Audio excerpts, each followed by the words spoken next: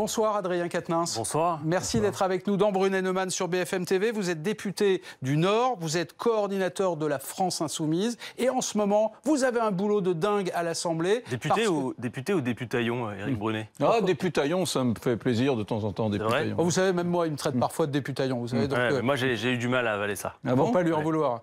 On va en parler. On va en parler. Mais vous avez beaucoup de travail en ce moment à l'Assemblée euh, l'Assemblée oui. nationale. Vous menez ce que vous-même vous appelez une forme de guérilla parlementaire. J'ai même entendu parler du terme de zadisme parlementaire qui est employé par un de vos opposants, mais repris volontiers par un de vos amis, Hugo Bernalicis en l'occurrence. Et j'ai envie de vous poser cette question. Députaillon, j'oserais pas. Mais euh, député ou zadiste parlementaire, euh, Adrien Quatennens? Député, député d'opposition. Euh, et dire une chose, c'est que contrairement à, à ce qu'Éric Brunet a pu dire l'autre jour, on va avoir l'occasion de s'en expliquer, moi je, je ne joue pas. Ce n'est pas un jeu. En faisant ce que nous faisons à l'Assemblée nationale, nous représentons effectivement beaucoup de monde dans ce pays. Parce que je vous rappelle qu'il y a un mouvement social d'ampleur, le plus long de toute l'histoire de la Ve République qui existe dans ce pays contre la réforme des retraites. Il y a une réforme des retraites qui est hyper contestée. Vous avez vous-même publié des sondages qui montrent qu'une majorité de Français pensent que le bon port pour cette réforme, c'est la poubelle, et que l'autre voie possible serait, elle est majoritaire dans le pays, un référendum. Je rappelle que nous avons une loi qui, euh, du point de vue même de ceux qui étaient des soutiens d'Emmanuel Macron, est jugée comme étant bancale. Vous avez des alliés plus ou moins objectifs d'Emmanuel Macron euh, qui l'ont lâché depuis. On a remis, et je voulais ramener parce que je pense que ça valait son pesant, c'est le cas de le dire, au propre comme au figuré, on a donné aux parlementaires une étude d'impact. C'est normalement un document qui est censé effectivement engager le gouvernement et qui est censé permettre aux parlementaires de se faire une idée de la réforme. Ce document, 7 ou 800 pages. hein. c'est 1000 pages, c'était 4 jours d'examen pour nous, ce document. Euh, c'est plutôt une publicité mensongère, voyez-vous, que véritablement l'étude d'impact. Parce que je vous prendrai qu'un exemple, tout ça a été truqué, en réalité, pour donner l'impression que le système par points que veut Emmanuel Macron serait plus favorable que le système actuel. D'ailleurs, moi, je défends pas le statu quo, mais dans cette affaire, quand même, notez que les cas types qui vous ont été présentés aussi, parce que les journalistes les ont eu entre les mains, sont des cas types où on a gelé l'âge d'équilibre à 65 ans partout.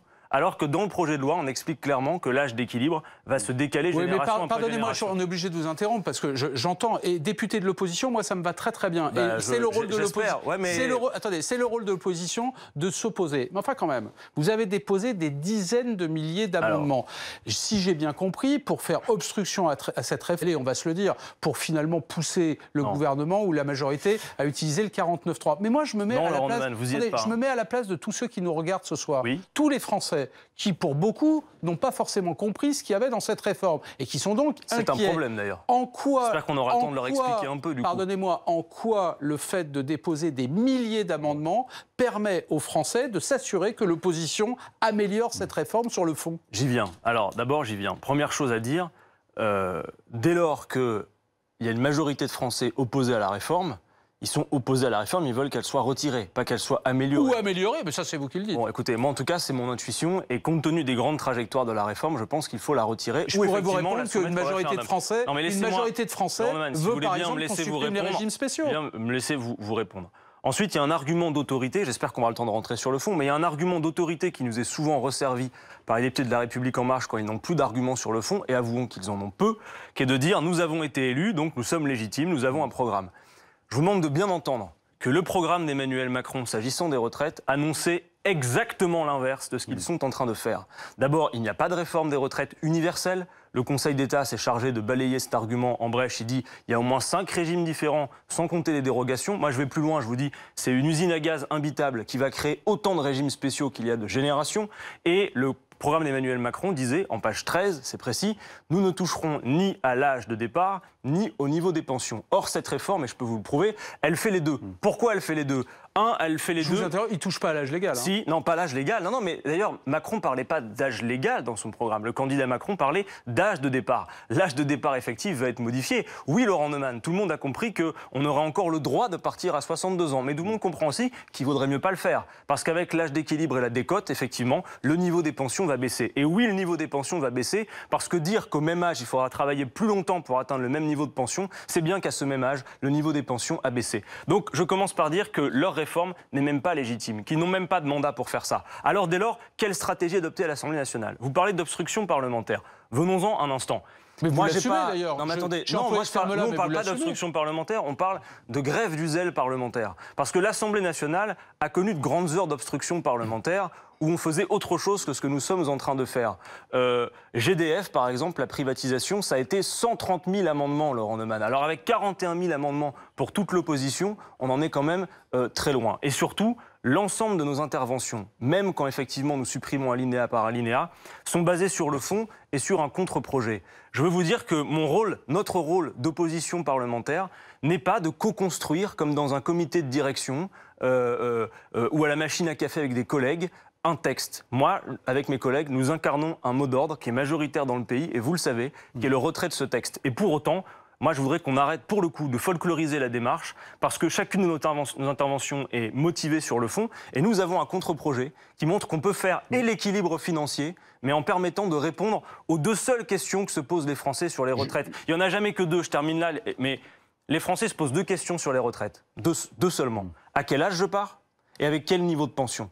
La Macronie est infoutue de répondre à ces deux questions. À la première, ils disent toujours plus tard, mais au moins 64 ans, c'est-à-dire au-delà de l'espérance de vie en bonne santé, et le niveau des pensions, vous n'avez aucune Mais- garantie. Avec nous, ce serait clair. Ce serait Adrien 60 ans, personne sous le SMIC pour une carrière complète et personne sous le seuil de pauvreté, et c'est pas compliqué à financer. Adrien Quatennens, lorsque j'ai parlé sur BFM TV il y a quelques jours... Vous de- regrettez de nous avoir traités de députaillons Vous avez l'impression, de- franchement, que c'est digne de votre part Écoutez-moi, députaillon, c'est un terme que j'emploie souvent, euh, qui relève de ma faconde gasconne. Oui, mais est-ce que moi je dis que vous faites un journalisme de caniveau ou de, ou de, de- pas de- pire de que- café non, du non, non, commerce je- non, Moi je respecte votre travail. ça- n'a rien à voir. Moi je respecte votre travail. Vous pourriez de respecter, vous pourriez respecter Je notre vous travail. assure que je vous respecte. Je vous assure que je vous Bah, respecte. écoutez, et ça n'est pas pire. Vous me donnez que votre- toujours l'impression de mieux me respecter quand je suis face à vous que quand on n'est pas sur le même plateau, par contre. hein. ce n'est pas pire que Hugo Bernalicis, un de vos députés de la France Insoumise, qui a dit nous faisons du zadisme Brunet, parlementaire. Éric Brunet, pas nous vous. faisons du zadisme Brunet, parlementaire. pas vous, pas vous. Laurent Lemann vous l'a dit à l'instant, c'est le,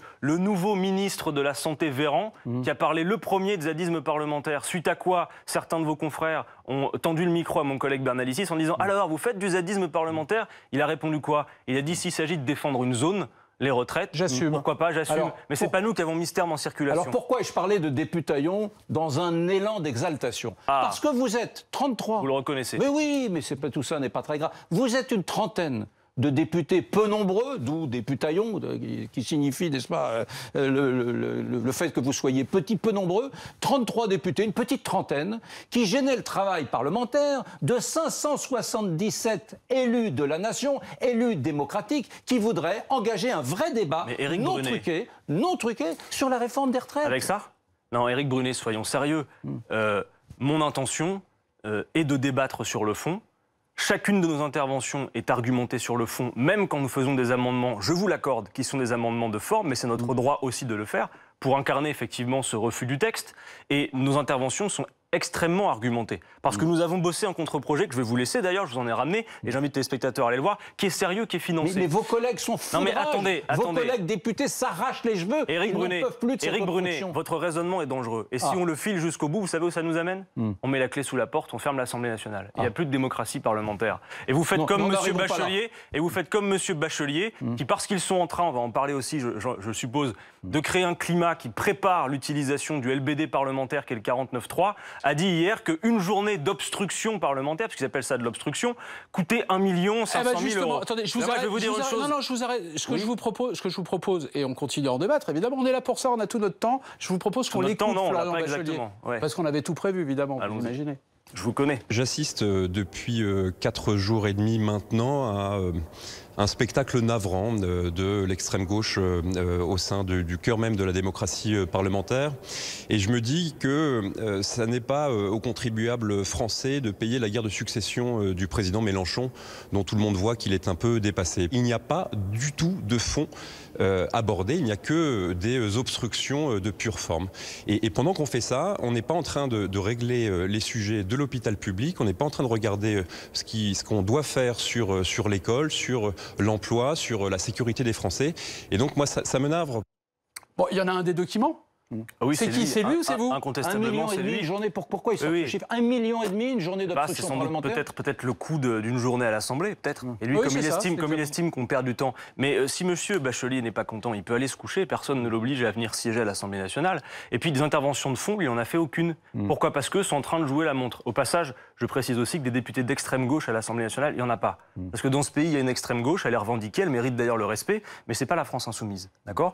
Donc dire une chose, c'est que Monsieur Bachelier, c'est celui qui nous explique effectivement qu'une journée à l'Assemblée coûte trop cher. Mais moi, je dis à Monsieur Bachelier, je suis assez à l'aise avec son argumentaire, même s'il est assez faible, parce que figurez-vous que la solution que j'incarne avec mes collègues, non seulement elle est majoritaire dans le pays, mais elle est la moins chère. C'est le retrait du texte. Au moins là, c'est sûr que ça coûterait pas grand-chose, parce que leur texte va aussi coûter extrêmement Oui, mais cher. vous voyez, par exemple, je vais prendre un exemple parce que je sais que vous aimez bien parler du fond, pas seulement de la forme, Bah, pas seulement de la bagarre bien. parlementaire. Je vais vous prendre un exemple. Il se trouve qu'il y a le salon de l'agriculture là qui ouvre demain.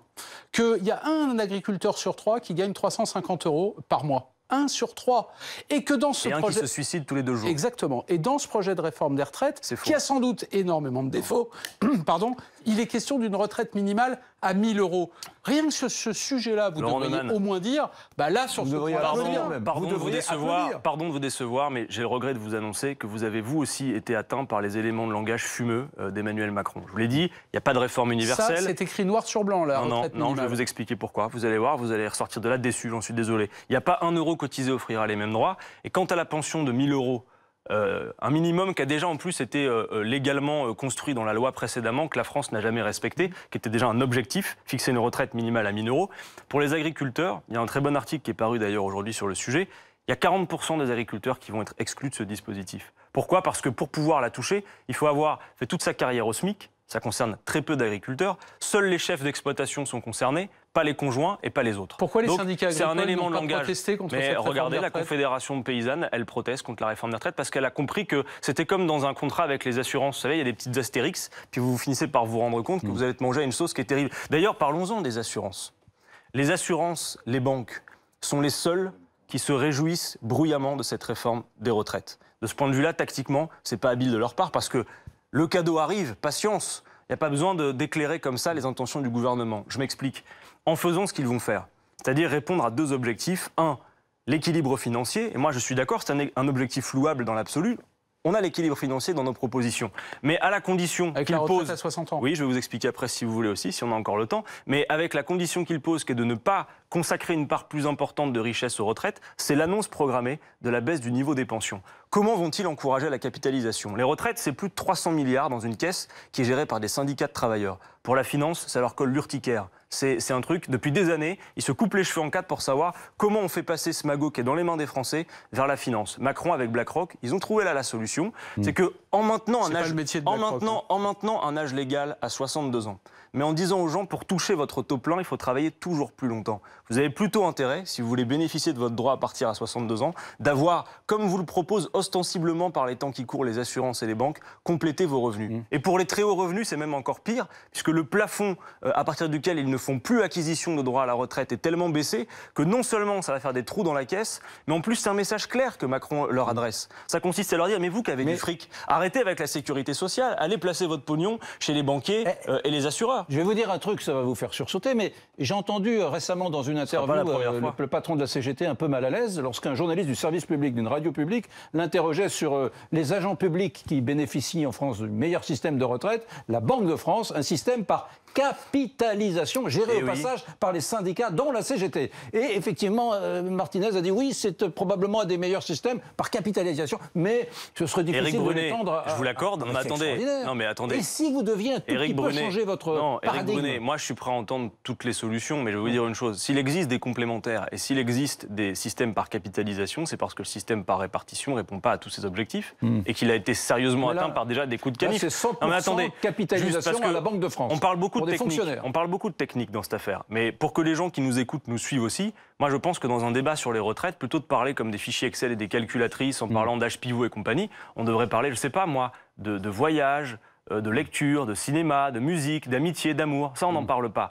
Quelle conception se fait un grand pays comme la France, une grande nation comme la nôtre, de ce que doit être ce nouvel âge de la vie qu'est les retraites? Parce que à la question que pose Emmanuel Macron, enfin que posent les Français, à quel âge je pars avec quel niveau de pension Moi, je vous interroge d'abord. Est-ce que c'est pas désirable de se dire on peut partir à un âge décent avec un bon niveau de pension? Est-ce que c'est pas désirable? on a, compris Avant de parler Adrien- chiffres et calculs, parce qu'après on peut parler on a, chiffres on et a calculs. compris ça. J'ai une dernière question à vous poser parce que malheureusement le temps passe très vite et on a beaucoup de choses à vous demander. Euh, les municipales, on vous entend pas beaucoup en parler à la France Insoumise, comme si au fond ça vous intéressait pas. Dans combien de villes espérez-vous être aux manettes Ville de plus de 10 000, 20 000 habitants? Mais décidément, vous ne suivez pas grand-chose. On vous a expliqué mille fois, notre choix était le suivant. La France insoumise n'est pas candidate aux élections municipales. Nous avons fait le choix de nous mettre au service de démarches co-construites. Nous avons d'ailleurs euh, un texte élaboré pour ça. Donc nous sommes au total en soutien et nous apportons notre soutien à J'ai- quelques 500... Pardonnez-moi, J'ai le droit de ne pas comprendre quand on est une grande formation d'opposition comme la vôtre, aussi, euh, aussi combative à l'Assemblée nationale, je peux, j'ai le droit de ne pas comprendre que votre formation Non, mais ne se vous- présente pas pour diriger des exécutifs vous aura locaux- pas échappé que, il vous aura pas échappé que la France insoumise théorise depuis un certain temps la nécessité de l'implication citoyenne.